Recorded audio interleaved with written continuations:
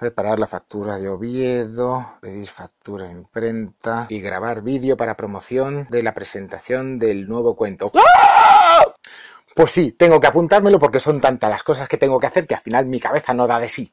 Nunca dio de sí. Así que vamos a ir paso por paso. Lo primero de todo, hoy no toca reseña, hoy toca vídeo. Primer apartado, ilusión. Y es que estoy muy ilusionado porque por fin sale mi libro. Yo hoy he venido aquí a hablar de mi libro.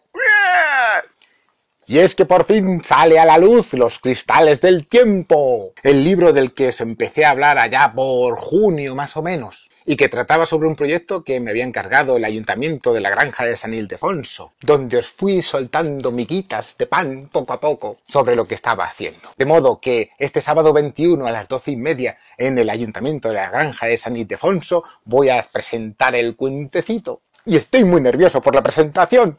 Como cuenta mi madre, que decía cuando era pequeño, ¿y si salgo y hago el ridículo? Seré un coñazo en plan, las rocas metamórficas denominadas genéricamente cornubianitas Gutiérrez que le veo. Ay, Dios mío, no sé qué voy a hacer. Así que creo que lo más lógico es que de momento salga que me dé un poco el aire para despejarme.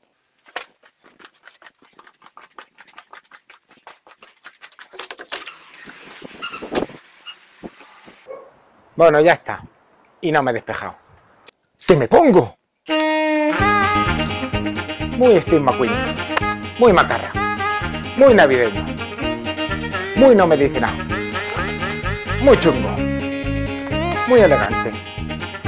Muy caluroso. Muy yudoka. Muy motero. Muy escalador. ¿Me afeito o no me afeito?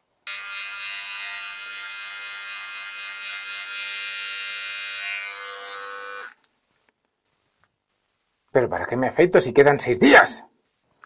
En fin, que el sábado 21 os espero en el Ayuntamiento de la Granja de San Ildefonso a esa de las doce y media para la presentación de los cristales del tiempo. Seguro que esta vez no hago el ridículo.